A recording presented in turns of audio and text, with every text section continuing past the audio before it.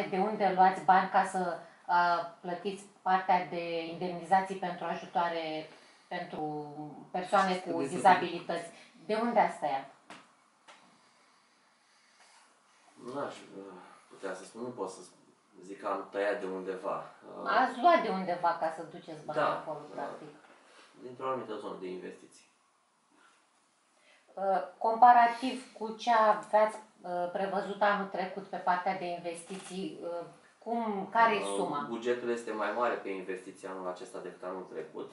Acesta este principalul punct, ca urmare a faptului că am reușit să atragem supli- sume suplimentare de la guvern, dar și prin programul cu finanțare europeană. Uh, Chiar dacă am tăiat de la unele investiții pentru uh, a da bani persoanelor cu dizabilități, bugetul pe investiții anului 2019 este net superior bugetului pe investiții al anului 2018.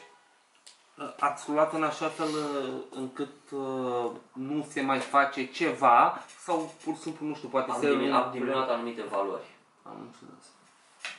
Uh, De asemenea, ne-am fi propus să facem mai multe lucruri, dar mai există și anul 2020 și mai pot exista și alți ani.